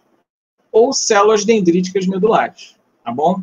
Essas MTECs, né? Que a gente, a sigla que a gente usa, Essas MTECs, elas são muito particulares. Qual a diferença dessas MTECs para células que estavam presentes no córtex? Essas células, elas têm a habilidade de expressar antígenos da periferia. Então, elas podem expressar antígenos que você só vê na retina, no cardiomiócito, no rim, proteínas de toda a periferia. Tá? Então, é como se o, essas células do timo elas espelhassem né, a periferia para esses linfócitos que estão passando dentro do timo. É importante lembrar, gente, que esse linfócito ele está num órgão que é encapsulado, ele é imunoprivilegiado, ele é privilegiado. Então ele tem uma, uma, uma separação, digamos assim, né, desse estroma, né, uma separação da circulação sanguínea, tá bom? Então aí só para vocês entenderem um pouco ok? Então, essas MTECs, elas vão apresentar todo o perfil, né, virtualmente todo o perfil de, de, de antígenos que a gente possui na periferia. Então, quando o linfócito T ele reconhece esse antígeno de uma uma afinidade intermediária, esse linfócito ele sofre uma, uma seleção positiva e ele continua no caminho de diferenciação. E aí ele pode, né, como está aqui, ele pode ser levado para a periferia. Se por acaso houver um reconhecimento, tanto no córtex quanto na medula, né, de antígenos de forma muito ávida, muito forte, então você tem a deleção, né, que é a indução de apoptose desse clone né, de célula T. E aí esse clone não vai para a periferia. Tá bom? Existe uma outra possibilidade também, que é aqui no, no, no caso, né? Essa, esse linfócito, essa célula T, não reconhecer absolutamente nada. Então, como esse, essa célula ela já tem uma programação né, de morte celular já disparada, quando ela não reconhece nada, ela também é deletada. Tá bom? Ok, gente? Está dando para entender? Sim? Ok? Sim. Ok, beleza. Então eu vou perguntar para vocês. É, é importante ter essa remoção de células que ou não reagem contra nada, não reconhecem nada, ou reconhecem com muita força? Aí, obviamente, se alguém disser sim ou não, por quê? Alguém tem alguma ideia?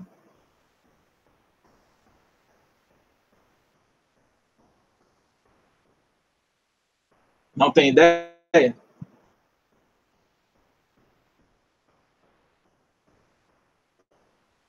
Estão pensando, gente? Então vamos lá. Vocês ficam muito tímidos, gente. Não precisa ter vergonha, não. Peraí. Ah, foi a Mariana que eu acho que falou aqui que tem que gerar um repertório funcional. E que aí é, essa remoção, tanto do de quem não se liga a nada ou quem se liga muito, seria viável, então seria importante. Então, por que, que é importante? Vamos pensar primeiro em quem não se liga a nada, tá bom? É, do ponto de vista bioquímico, uma célula que não se liga a nada, que não reconhece nada, ela não serve. Ela vai ficar gastando energia e para o sistema não serve. Tá? É, e existe a possibilidade dessa célula que morreu por negligência, porque não, não reconheceu absolutamente nada, dela encontrar algum antígeno na periferia e se ligar com muita força tá? Mas só não houve a possibilidade dela encontrar esse antígeno dentro da estrutura tímica. Então, o sistema, ele evoluiu dessa forma, não é uma coisa que foi pensado, né? Ele evoluiu dessa forma, dessa forma para remover esses que não sofrem a estimulação ideal, que seria reconhecer alguma coisa, né?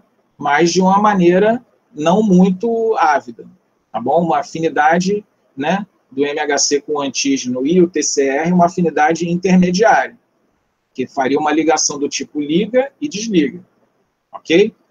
Então, esse clone que não, não reconhece nada, ele realmente é bom, porque existe a possibilidade de ele não ter tido chance de encontrar alguma coisa que se liga muito fortemente, tá bom? Ou, do ponto de vista bioquímico, também ele não serve para nada. Imagina que não existe nada que ele vá se ligar no organismo de maneira ávida. Então, ele não serve para nada. Para que vamos gastar ATP com um clone desse? Mas o que acontece é que todas essas células, elas têm uma programação de morte celular disparada, e para que essa programação seja desligada ou revertida, a gente precisa desse contato aqui inicial, né, com essas células corticais aqui. É a partir disso e de estímulos também solúveis, como citocinas, que estão presentes aqui, mas principalmente desse contato aqui da apresentação de antígeno, que vai fazer com que essas, esses linfócitos caminhem no seu processo de maturação.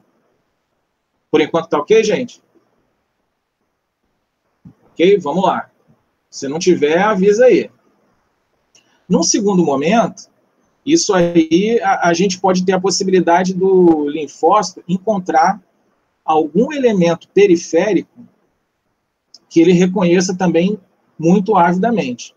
Se esse linfócito é, ele emigrar para a periferia, quando ele encontrar esse antígeno endógeno, o que, que vai acontecer?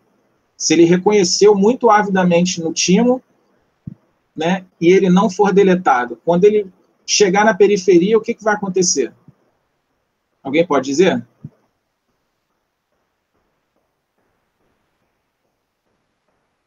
O que, que vocês acham? O pessoal entendeu a pergunta? Vamos imaginar que a gente tem. Então vamos lá. A gente tem um, uma célula T que reconheceu, né, aqui dessa MTEC, deixa eu ver se o mouse está apontando aqui, aqui da MTEC, reconheceu um antígeno periférico com muita força, com muita avidez, tá? Mas essa célula não foi deletada e ela foi para a periferia. O que, que vocês acham que essa célula pode gerar na periferia?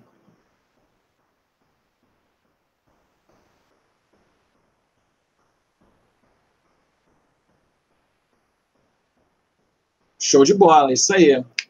Mariana respondeu aqui, uma reação autoimune. Então, na realidade, é, esse processo de seleção né, positiva, que vai pegar os clones que têm uma afinidade, né, que re reconhecem algum elemento endógeno, né, mas com uma força intermediária de afinidade, tá? E principalmente essa seleção, quer dizer, principalmente não, e por outro lado, essa seleção negativa que elimina os clones autorreativos, eles vão impedir que a gente tenha um repertório, né, geração de clones de célula T que vão induzir respostas autoimunes, tá? Então, o, o que, que o timo faz a partir de todo esse processo aqui que eu falei para vocês, ele vai gerar, então, um repertório, quer dizer, um conjunto de células T, tá? que é tolerante a todos os nossos elementos tolerante ao self, ao próprio. Então, quando eu falei que o sistema imune é um sistema de reconhecimento, aí a gente fica, poxa, sistema imune tem que reconhecer tudo que é de fora. Não, ele não reconhece que é de fora. Ele discrimina o que é próprio e o que não é próprio. O sistema imune ele foi feito para reconhecer o próprio. E isso é feito a partir das células T. Está vendo aqui que essas células MTEX, elas apresentam tudo que a gente tem na periferia? Vocês entenderam isso? Vou esperar vocês dizerem sim ou não lá no chat. Essa parte foi, gente?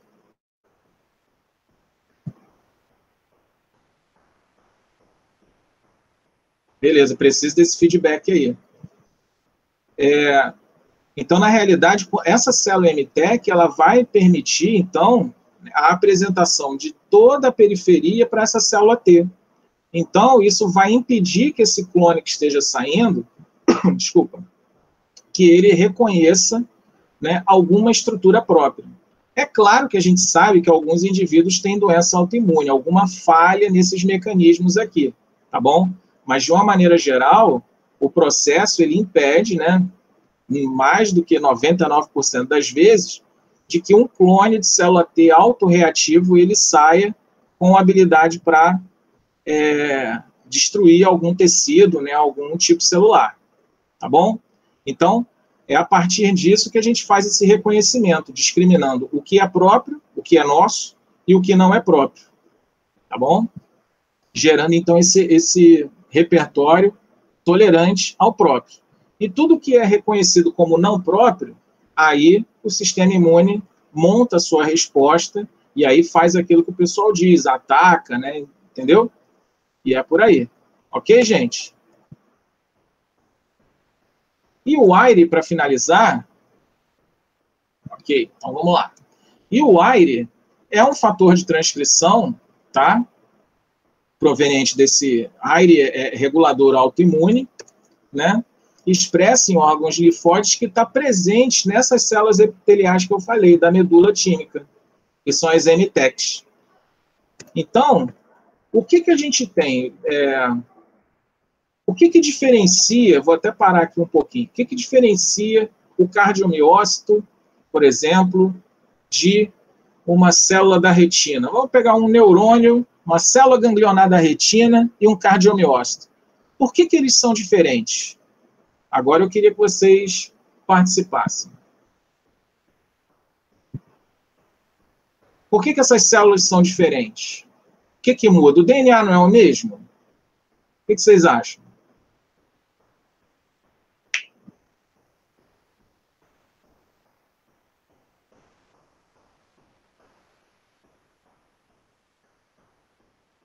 Hein, gente?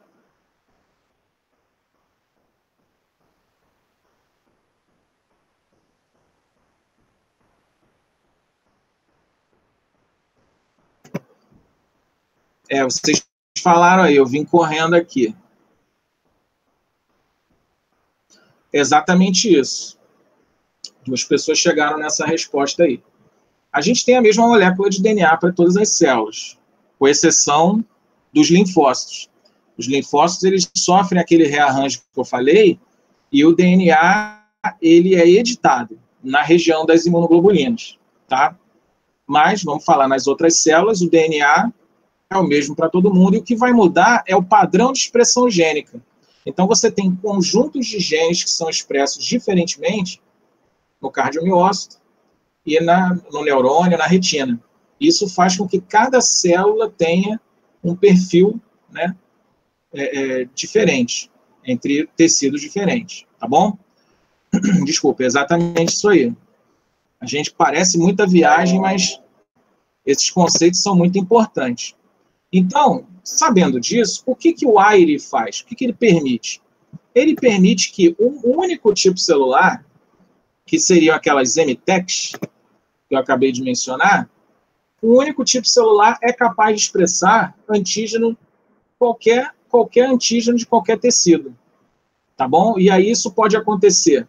Numa, numa única MTEC, ela pode expressar antígenos de um único cromossomo ou de cromossomas diferentes. Tá bom? Em moléculas de MHC diferentes, vai estar apresentando, por exemplo, uma molécula de cardiomiócito, uma molécula de é, tecido renal e uma molécula de retina, uma proteína particular de retina. Tá bom? Então, essa que é a grande característica dessas MTECs, que faz com que elas sejam tenham a habilidade né, de espelhar a periferia dentro do microambiente tímico.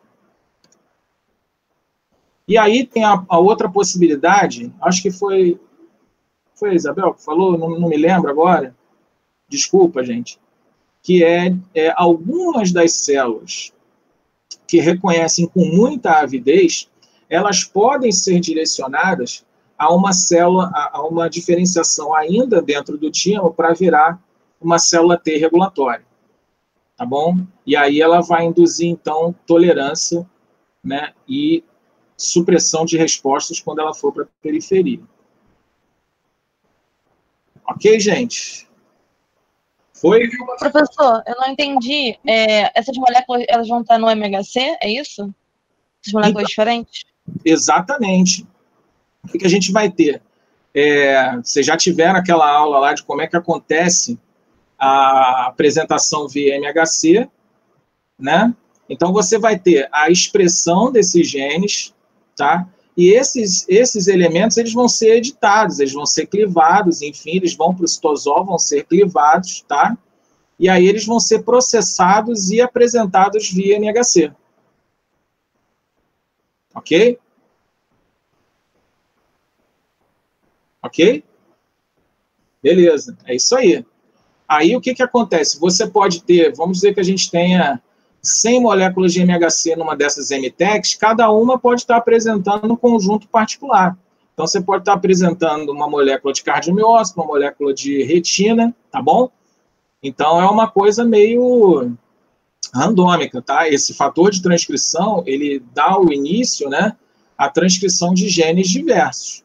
Podem ser na mesma, no mesmo cromossomo ou em cromossomos diferentes.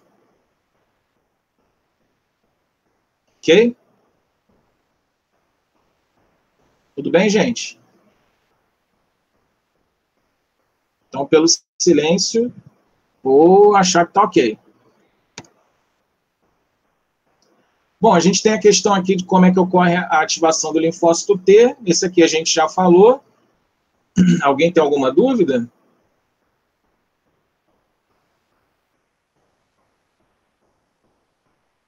Pode passar? Ok, vamos lá. É porque isso aqui a gente já falou, né? Não é preguiça não, hein, gente? Vamos lá. Essa aqui também é a diferenciação do TCD4, a gente já falou também. Né? Vai depender né, do estímulo né, do microambiente aqui, né? Que vai induzir polarização diferente. Ok, gente? Tudo bem?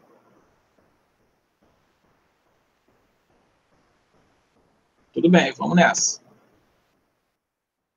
É, poxa, também já falei essa aqui, a função do óxido nítrico, né? E qual subpopulação do TCD4 ele vai modular. Então, o, o, o TH1, quer dizer, qual subpopulação de linfócito que induz o óxido nítrico, né? Óxido nítrico sintase. A gente já falou também, né? Seria a célula TH1, né? Que induz a ativação do macrófago, né? E a partir dessa ativação do macrófago aqui, é que você vai ter o burst oxidativo, que é aquela explosão oxidativa intensa, produção de espécies reativas de oxigênio, e também indução de óxido nítrico. Né? Aí você vai ter produção de espécies ativas de oxigênio e de nitrogênio, e isso vai ajudar né, a eliminar aquelas bactérias que foram fagocitadas. Essa parte também tá ok, né? A gente já havia mencionado, tudo bem? Se não tiver, essa aqui a gente não mencionou, mas o professor já falou, professor Herbert, né? Qual seria a diferença, então, do linfócito T virgem e do T ativado? Bom, vou falar porque já está aqui aparecendo. Na realidade, a gente chama T naive, né, ou T efetor, né, T ativado. A diferença, basicamente, a T naive é uma célula que ainda não entrou em contato com o antígeno, tá? E o, T, o, o TCD4 ativado, ou efetor, ele já entrou em contato com o antígeno. E aí, o que, que vai acontecer, o que, que, é, o que, que há de diferente, perdão, entre essas duas? É a estimulação que é realizada por diferentes células apresentadoras de antígeno. Então, uma célula T CD4 naive, ela vai estar onde? Ela vai estar no órgão linfóide secundário, tá? Dando lá o seu processo de ativação. No caso, ela pode estar no linfonodo. E aí, quem que vai ser a APC dessa célula? Uma célula dendrítica. Então, o que, que vai acontecer? A célula dendrítica vai ativar a célula T, naive, e como resposta, essa célula T, ela vai sofrer uma expansão clonal, né, que é um ciclo, vai sair de G0, vai para G1, vai proliferar bastante, tá? E aí essa célula, ela é uma célula efetora. Ela ainda não está desempenhando a função efetora dela, mas ela já tem essa habilidade. A célula T efetora, quando ela entra em contato com a APC, que vai induzir a sua ativação, no caso, ou macrófago ou célula B, ela vai induzir de fato uma função. Então, a célula quando entra em contato com o macrófago, ela vai induzir a função dela, que é produzir, como eu, como eu coloquei aqui, né? Produzir citocina para ativar o macrófago a promover a eliminação da bactéria que ele fagocitou, tá? Ou, por outro lado, no caso aqui, essa célula T efetora, quando ela encontra uma outra apresentadora, que é a, possibilidade a célula B, ela vai induzir, então, a ativação da célula B, a diferenciação dela em célula produtora de anticorpo, né? Plasmócito, por exemplo. Então, a, a diferença entre naive e efetor é a célula que nunca viu o antígeno e a célula que já viu. A naive nunca viu, né? E vai ser ativada e não vai executar ainda a sua função. A TCD4 efetora, ela já viu o antígeno uma vez.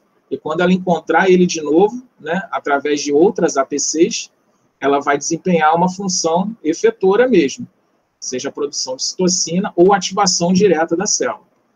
Tudo bem, gente?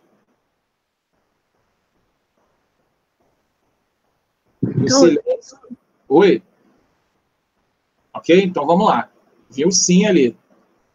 Então vamos nessa. Bom, plasticidade a gente já falou também.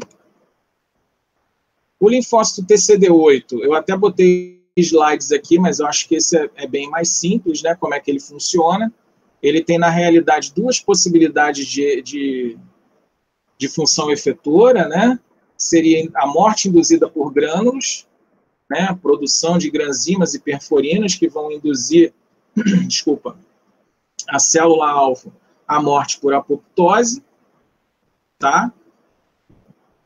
E uma outra possibilidade é a indução de morte através da via faz e faz ligante. Caso algumas células tumorais elas aumentam a expressão do faz na sua superfície, né, como exemplo, e o TCD8 ativado, ele aumenta a expressão de faz ligante. E o faz, ele é um receptor, perdão, é um receptor de morte, né, de morte celular. Quando há o engajamento do faz e do faz ligante, você tem o disparo de vias de sinalização que vão levar à ativação de caspase e à morte da célula-alvo por apoptose. Tranquilo, gente? Ok? É só acho que era fácil, mas não sei. Tudo bem? Ok, vamos lá. A 12 seria quais são as populações e subpopulações de linfócito B e quais são as suas diferenças essa é uma, é uma questão um pouco grande, né? É, que dependendo do livro-texto, a gente vai ter, uma, ou, ou, da revisão agora, a gente pode até ter uma subpopulação a mais aí, enfim. Mas, a grosso modo, o que, que a gente tem de populações, né? De célula B. A gente tem, eu acho que o, que o professor Herbert já falou com vocês, né?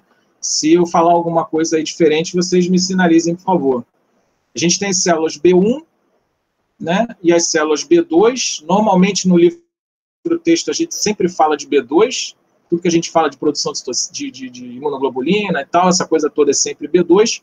E o B1 é um grupo um pouquinho particular dessa de células B, que estão muito presentes em mucosas, né, e tem uma ação um pouco mais rápida, né, uma ação rápida a partir de desafio com antígenos bacterianos.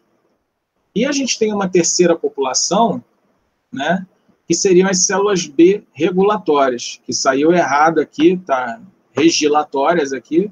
Eu fui pegar o, o coisa na internet e saiu assim, mas são células B regulatórias, tá?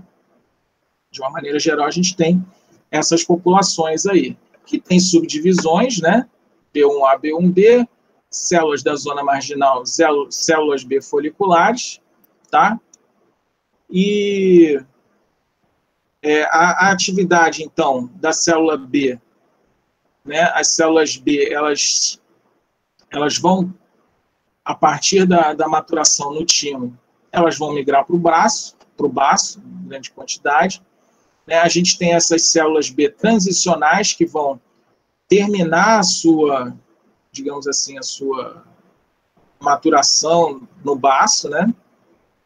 E a gente tem então, por fim, as células foliculares, as células da zona marginal, que vão, a partir do processo de ativação, né, com contato com o antígeno, eles vão dar origem, né, às, digamos assim, as diferenciações terminais, né, que seriam os plasmócitos, isso aqui na foliculares, né, na ativação folicular, plasmócitos e células B de memória, e tem a resposta extrafolicular também, que também é capaz de gerar células plasmócitos e células B de memória.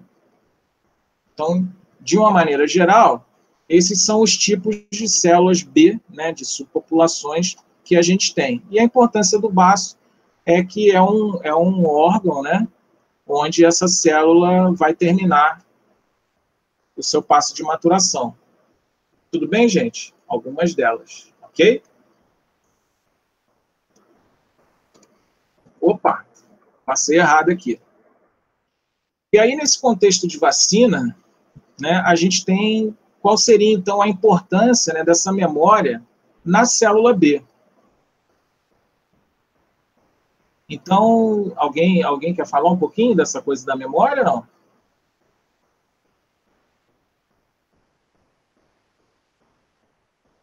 Alguém? Não? Então, vamos lá. Por que, que é importante a memória da célula B né, no comportamento do, do sistema imunológico? O que, que a gente ganha com essa característica? Né? O que, que a gente tem de característica clássica da imunidade adaptativa? Quando a gente é exposto subsequentemente ao mesmo antígeno, a gente percebe que a segunda resposta, ou terceira resposta, ela é bem mais eficiente do que a primeira.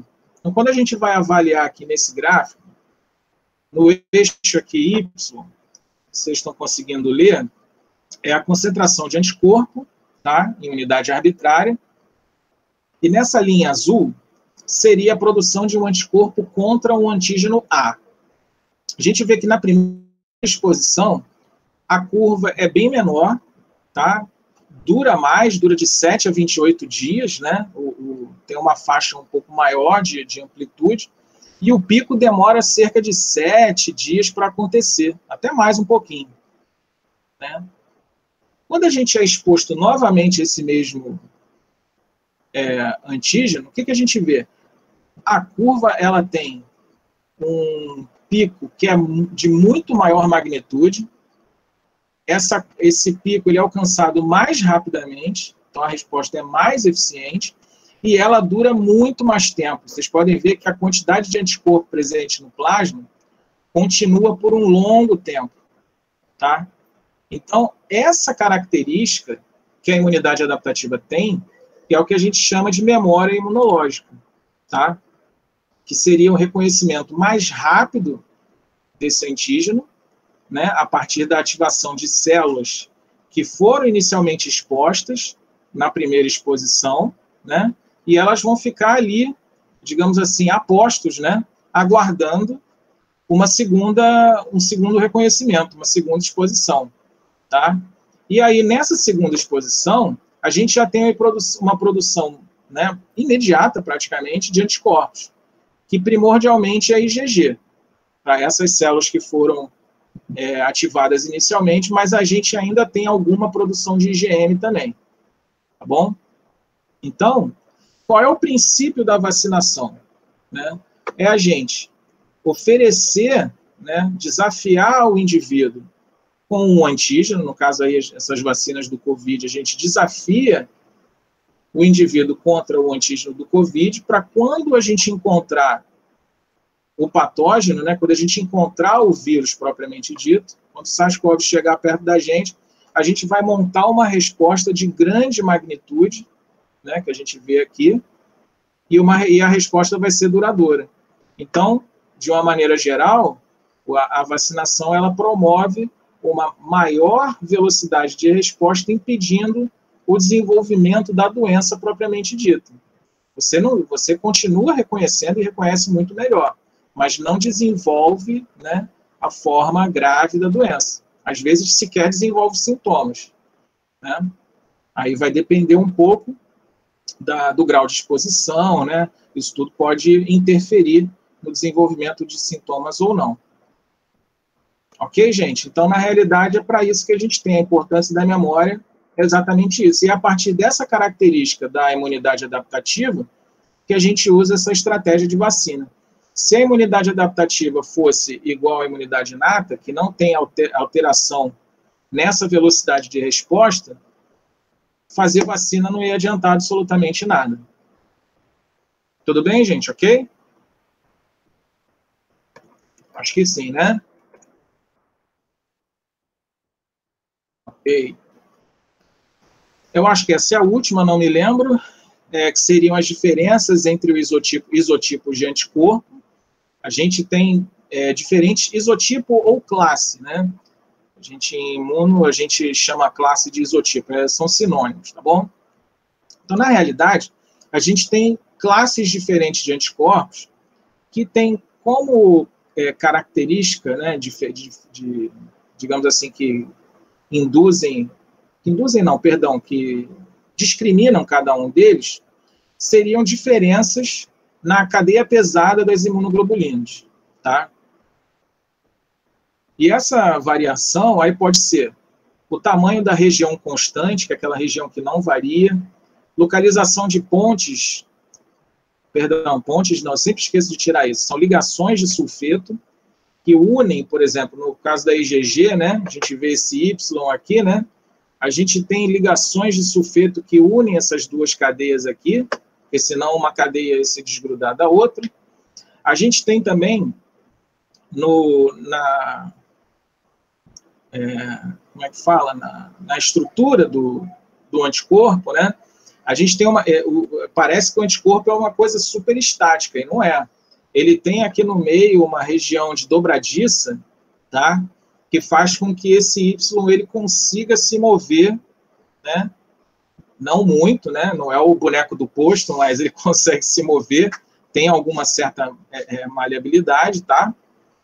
E, enfim, ah, uma outra possibilidade de distribuição de carboidratos aqui ao longo da estrutura da cadeia, tá? Pode-se ligar carboidratos aqui. E, obviamente, a partir dessas, diferen dessas diferenças que ah, esses anticorpos apresentam nas cadeias, elas vão poder, então, exercer funções efetoras diferentes, tá? O professor Herbert chegou a falar da IgG, né, que é a monomérica, é mais abundante no sangue, né? função, a gente tem neutralização, elas aumentam fagocitose a partir de opsonização e, e fazem a proteção de fetos e recém-nascidos, porque são aquelas capazes de passar pela barreira hematocefálica, né? Então, elas conseguem ir para a circulação fetal. Bom, já a IgM, por causa dessa estrutura pentamérica, ela é muito grande. Né? Ela está presente na, no plasma e na membrana de linfócitos B. Né? É, Aqui ela, ela funciona, no caso, na célula B, como um receptor para antígeno, né? Reconhecimento de antígeno, tá? E na forma pentamérica, ela tá, tá percorrendo o soro. Só que por causa desse tamanho elevado, ela não consegue passar a barreira hematocefálica, né? ou hematoplacentária, aliás. Falei hematocefálica antes, perdão, hematoplacentária. Tá? Então, o, o feto, o neonato, ele não tem é, é, IgM da mãe. Tá? Então, toda IgG que a gente vê no, no, no, neném que acabou de nascer, né? A gente vê, por exemplo, às vezes acontece da mãe ter alguma doença, né? Sífilis, por exemplo, às vezes é comum. E aí o pessoal vai fazer pesquisa de sífilis e ver que o neném ele tem anticorpo, mas às vezes ele não está doente. Então, por que, que ele tem anticorpo? Porque o anticorpo da mãe passou, o IgG passou, mas o IgM não passa. E o IgM ele fixa via de complemento também. Então, são capazes de neutralizar toxinas, mas em menor grau, e aglutinação de antígenos também. E a IgA, que eu acho que o professor também falou, o professor Herbert, né, que é a principal é, mediadora de é, proteção de mucosas, né? É, principalmente na sua forma dimérica. Na forma monomérica, ela está no plasma. Elas não fixam complemento, protegem mucosas e também promovem imunidade no trato digestivo de bebês. Ok, gente? Então, acho que é... Ah, não, está faltando essa aqui. Diferença entre imunidade inata e adquirida. Que, na realidade, a gente já falou um pouquinho, né? Então, vou só para finalizar. É, a gente tem que a imunidade inata, ela, acho que foi até falado por alguns de vocês, né, são elementos que nascem conosco, enfim. É, na realidade, todos os elementos acabam nascendo conosco, né? Mas acho que a, a, grande diferença, se a gente for ver, obviamente, a gente tem grupos celulares distintos que participam de cada um desses eixos da imunidade inata e adaptativa, tá? A imunidade adaptativa para a gente ficar mais fácil, né? Ela começa com ativação de linfócito, tá bom? Então, sempre que tiver ativação de linfócito, aí a gente tem imunidade adaptativa. Antes disso, ativação de fagócitos, células NK, outros elementos, a gente não tem imunidade adaptativa, ok? E aí uma grande diferença é qual é o tempo que esses eixos levam para serem ativados. A imunidade adaptativa é a mais prontamente ativada após o desafio com o antígeno, e a imunidade adaptativa demora mais um tempo, porque ela vai requerer, então, um certo reconhecimento por elementos da imunidade inata, o processamento do antígeno por células dendríticas e a apresentação para as células da imunidade adaptativa. Ok? Então, como diferença que a gente tem, né? A imunidade inata a, ela faz o reconhecimento entre o próprio e não próprio através daqueles padrões, né, de, diversi, de, de, de, moleculares, né? Então, quando reconhece algum padrão endógeno, é algum padrão de perigo. Por exemplo, aqueles dumps. Quando uma célula morre por, por, por necrose, ela está expondo elementos que normalmente não estariam presentes. Então, esse é um sinal de alerta. E isso pode ativar a imunidade inata, tá? A gente tem também um ponto muito importante, né, que por causa disso, desse reconhecimento ser é, através de padrões, né, o reconhecimento é limitado, a diversidade da imunidade inata é bastante limitada, mas ela não é inespecífica, como alguns dizem, né? E a imunidade adaptativa é extremamente diversa, porque a gente forma aqueles receptores BCR e TCR com uma diversidade muito grande. A imunidade inata não apresenta memória, né? Então, quando a gente tem é, é repetidas vezes né, de encontros, né, são desafios diferentes, momentos diferentes com o mesmo antígeno, a ativação da imunidade inata sempre com o mesmo grau né, de intensidade. Já a imunidade adaptativa, não. A gente viu que a segunda vez, terceira vez é sempre uma, uma resposta bem mais eficiente, mais vigorosa, mais eficiente. Tá? Enfim, eu acho que aí, como eu falei, né, a resposta da imunidade inata é imediata e a resposta da imunidade adaptativa ela demora um pouquinho mais, normalmente alguns dias, tá? Ok, gente? Então, eu acho que era isso. Acho que deu para a gente conversar um pouquinho aqui. Espero que eu tenha conseguido tirar algumas dúvidas desse ED. É, se alguém tiver alguma dúvida, gente, pode falar aí agora.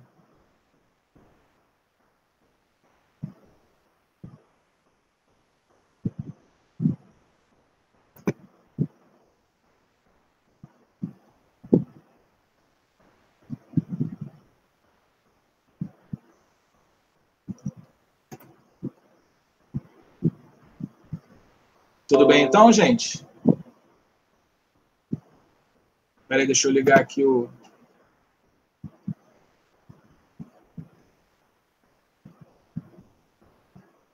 Gente, obrigado.